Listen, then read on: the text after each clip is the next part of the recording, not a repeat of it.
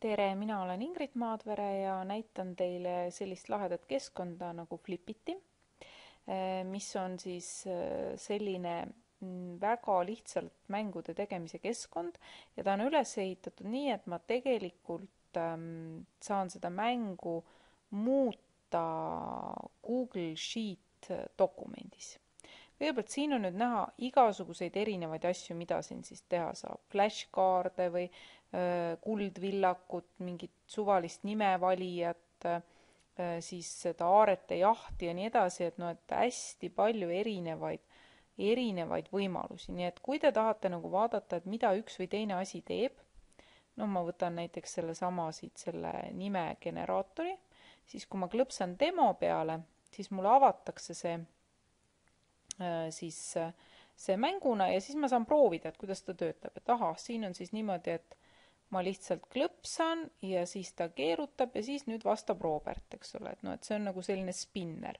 siis tasub alati vaadata iga selle mängu juures, et noh, mis veel üleval on, et noh, et, et siin ma saan ka valida, et noh, et tuleb näiteks niimoodi, nimed tulevad ükshaaval, et noh, et, et siis jääb see eh, spinnimine ära, siis saab siin panna eh, noh, niimoodi järjekorda, et näiteks, et vot, kes vastama tulevad, mis järjekorras Äh, siis ma saan teha gruppe, kahesed grupid, kolmesed, neljased, nagu noh, hästi lihtsalt. siit lähen jälle siis selle Flipiti enda lehele tagasi ja niimoodi ma saan rahulikult noh, vaadata, et mida kõike siis teha annab. noh, näiteks siin saan teha sellise äh, nutitahvlile peaks hästi sobima, et saan teha sellise lohistatava äh, tahvli, noh nii, et nagu kunagi olid, tähti sai panna paika, siin saab mingitest sõnu teha ja nii edasi ja kui ma olen siis noh, midagi välja valinud, mida ma tahan teha, mm, siis äh, siin on ka olemas siis selline asi nagu instruktsioonid igal pool, nii et te näete instruktsioonid, instruktsioonid, instruktsioonid.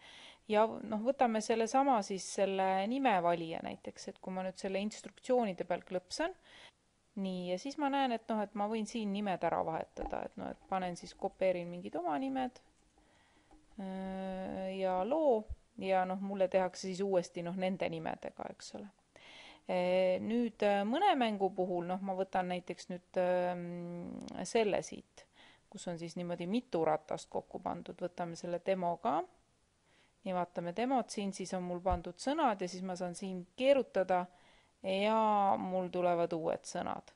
nii, siis ähm, selle mängu puhul on nüüd nii, et kui ma lähen siia instruktsioonide alla siis jällegi ma võin siin muuta ära need sõnad, aga mul tegelikult antakse ka nõndanimetatud siis mall või template ja ähm, kui ma teen sellest endale koopia, siis ma saan ise seda muuta, mul on vaja Google'i kontot.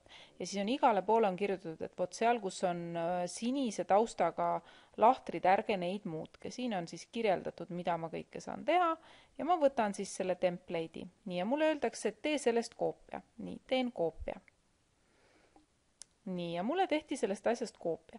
ja tegelikult nad näevad siis välja sellised, et vot siin on esimesel lehel on siis need noh, sõnad, mida ma saan muuta ja teisel on siis link, et noh, et mida mul on siis pärast vaja. ja, ja kui ma siis noh, näiteks panen siin tulbad ära, et noh, näiteks ma tahan teha sellise mängu, et noh, et nad hakkavad seal noh, ütleme tegema mingisugust muinasjuttu ja, ja siis ma tahan siia panna näiteks, et siia tuleb tegelane nii, kustutan need ära. panen siia tegelased.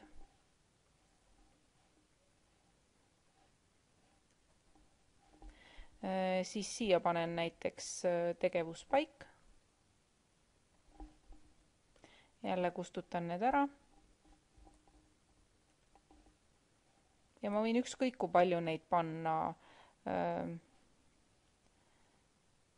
neid sõnu, et noh, et äh, koobas paneme ka.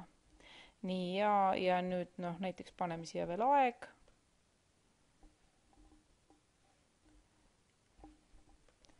nii, öö, hommik, nii, ja need kustutan näiteks ära ja siis ma näiteks seda neljandat ma võin, noh, mul, mul, ma võin ülejäänu ära kustutada, et ma ei taha nagu rohkem, et ma tahan, et mul on ainult kolm tulpa ja nüüd, enne kui ma siis selle lingi kätte saan, on hästi oluline, et ma teen selle vormi avalikuks, sest see Flipiti ei tule nüüd minu äh, Google Drive'i seda vaatama, vaid ma võtan siis fail ja vajutan avalda veebis. nii, avalda.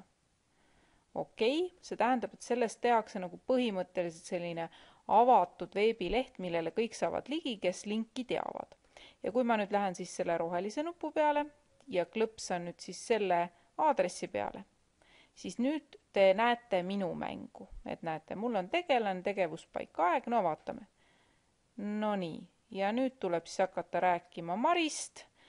Tegevus toimub metsas ja öösel. Ja mis siis Mariga seal öösel saab? Ja siis, kui ma siit nüüd nagu vahetan, eks ole, siis mul nüüd on, no vot, nüüd on keegi kass kusagil koopas hommikul, eks ole.